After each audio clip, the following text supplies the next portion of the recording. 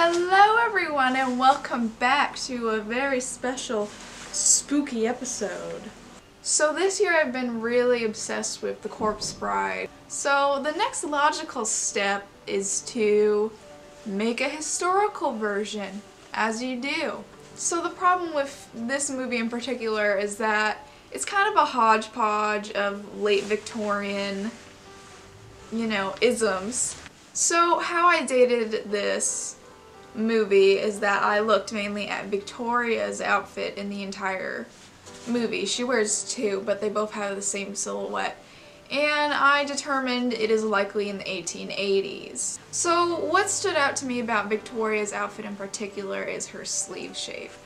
And that her sleeves are kind of poofed at the top, but they're very tight for the rest of the arm practically. Only like the bicep area right here is enlarged and it mainly goes up instead of out, which is more characteristic of the sleeves of the 1880s. I saw this one from an auction website, I don't know. I'll I'll put the link in the description. It looks what I would picture her dress to look like in reality if it was, you know, made in a live action movie instead of puppets. But you, you can see in the dress it has the it has the poof at the top of the sleeve and it has the 1880s characteristic like button front and the high collar which she has the whole movie. And you can also see that in her wedding dress she has the same silhouette of the poofed shoulders and then the tight-fitting sleeve. And now on to the hard part, which is Emily's dress, which is the one I'm making. So for Emily's dress in the film, they say it's her mother's wedding dress. And at first, I kind of discarded that, but I realized it would work better if I made it older because then it would add to the story and the 1880s wedding dresses don't really have as much of an off shoulder as I wanted the dress to be because her dress in the film it's more 2000s. It's it's sleeveless. It's got a sweetheart neckline and it's kind of got like this big slit in the front. So it's more it's more 2000s. It's not very accurate. I guess you could say the slit was made from her being in the dirt, but you know, I'll cut the film some slack. Wedding dress, I tried to go for an off the shoulder because it would match the the silhouette better than if I did sleeves or like a higher shoulder as seen in a lot of Victorian eras. So I did some math and basically I'm saying that Emily probably died when she was around 20, right? And if she was 20, she prob her mom probably got married same age as she did, had her, probably worked like that, right? So I'm setting this 40 years into the past. So I went for an 1840s style. And I've never done that before, so this was a challenge. So I did what most historical costumers do when they want to find out about a new era. I did intensive research, and I did a lot of Pinterest boarding. Since I was doing a wedding dress, I was looking at the evening wear, not, not day wear. So I just wanted to make that clear up front before I went into this. Now, the evening wear typically had, I wouldn't necessarily call it off the shoulder, but it was kind of like, it was like there, or even a little bit higher. It had a distinctive like V shape in the front. Oftentimes these dresses had either like a poof sleeve or a half sleeve or like a capped sleeve. And I chose to do a capped sleeve because I think it would fit best with the almost sleeveless look that I'm going for without being sleeveless. I found a few examples of these 1840s dresses that I liked and a characteristic of them is that they were often pointed in the front or they had a slight um, point. Sometimes it wasn't so dramatic but when you get to the later 1840s and transition to the 1850s they had more of a pointed front. Oftentimes they either had four darts in the front or they had like this paneling where they would have a middle seam and then two well, the front would essentially be five pieces. so it'd be the, the side pieces, the middle front piece, oh no, it'd be four pieces. I was wrong. It'd be four pieces. There's one fashion plate I found in particular that I wanted to emulate as close as I could. And I did a somewhat successful job at it. But essentially it had this almost off the shoulder silhouette like I was talking about where it'd have like a V or a sweetheart neckline which was important to me because I wanted it to emulate the actual dress in the film.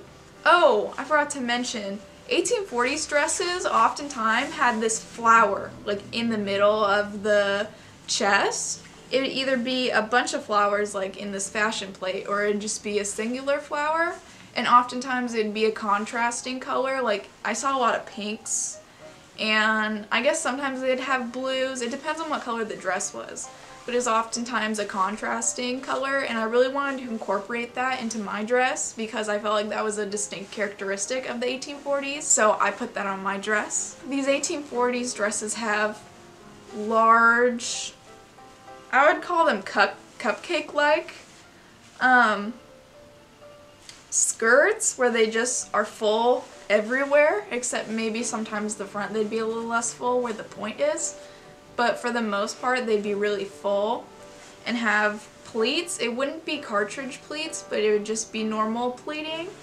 which I saw on a lot of them. I thought they'd do more cartridge pleating, but I guess that was more popular in the 1850s and the 1860s. I may be wrong on that, but the dresses that I saw had a lot of just normal pleating instead of cartridge pleating. So the first step to this entire project was making a corset which I have not done before so this was a this was a challenge. First I started out by using a pattern from the Symington corset collection that they have free on their website. Not their website, it's the what's the name? Leicestershire? Leicestershire? Leicestershire. I'm so sorry. I basically printed out one of their patterns, cut and pasted it, put it together, and then I tried to see if the shape would work, and it didn't. So it essentially was way too long, and I have quite a short waist, so I needed something that would go in and out fairly easily, but it was very long, the corset pattern. So I essentially had to scrap that one and make an entirely new one. And for my first draft, I used a really sturdy canvas, which was probably a mistake. But, you know, the goal for the corset was to make it as curvy as possible and work with my shape. Cut the sides of it to make more room for my hips because it was like squishing down my hips, which is what I didn't want. I wanted it to flow around my hips. I wanted it to be as snug as possible to my body essentially, but without flattening anything. So that was the real challenge of the corset. Sewed in a waist tape and the waist tape I kind of, it got folded a little bit. This is kind of like a half boned. It's not fully boned by any means, but it's just enough in the areas where you're supposed to have boning so it works. Size was way too big at the top, so I had to I had to put folds in and then sew it down so it wouldn't be so like full on the top because when I enlarged the cups I made it too big all around and it the fullness was better at the bottom and especially worked for an 1840s corset.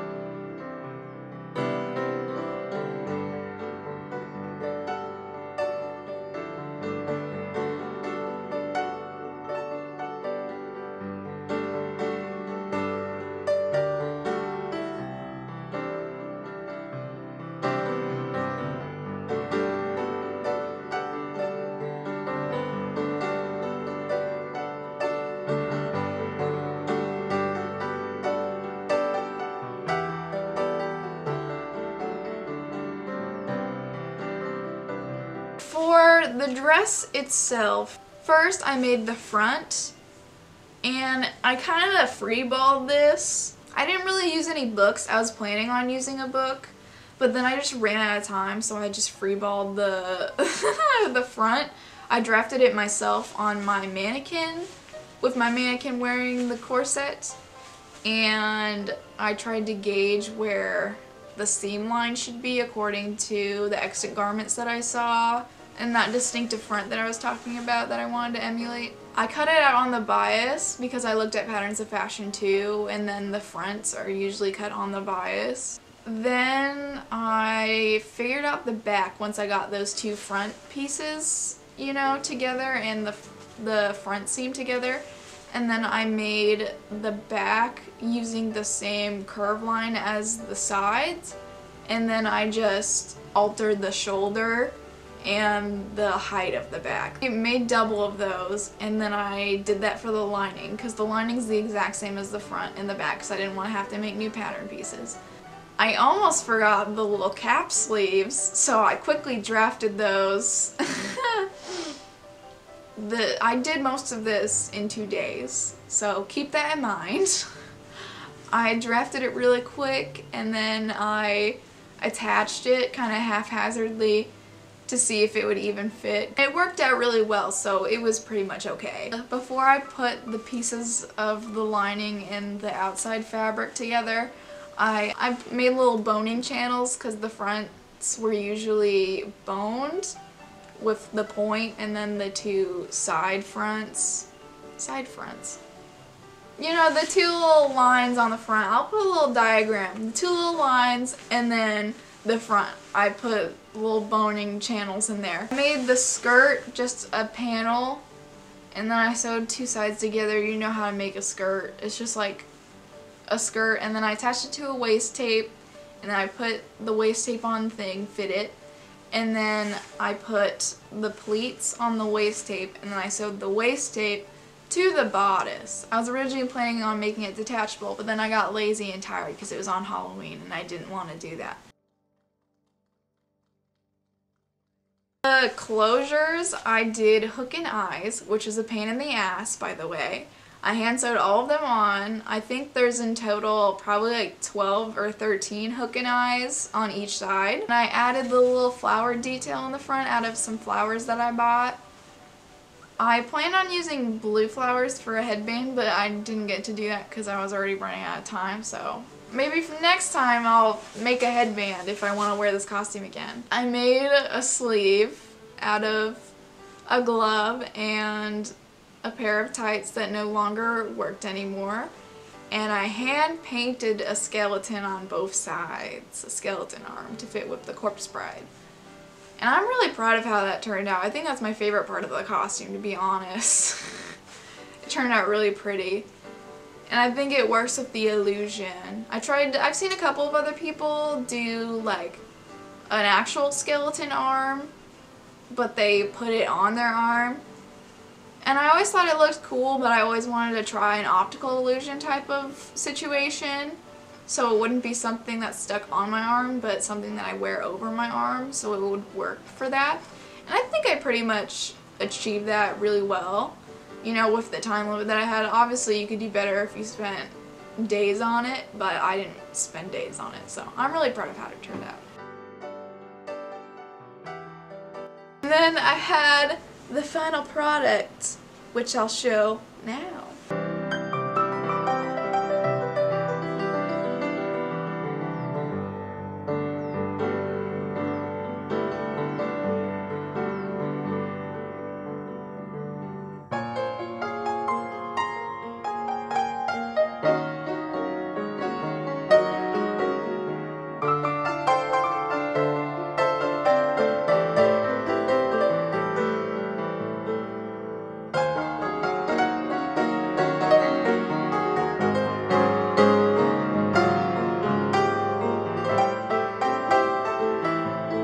You so much for watching and I wish you all a happy fall and a happy new year.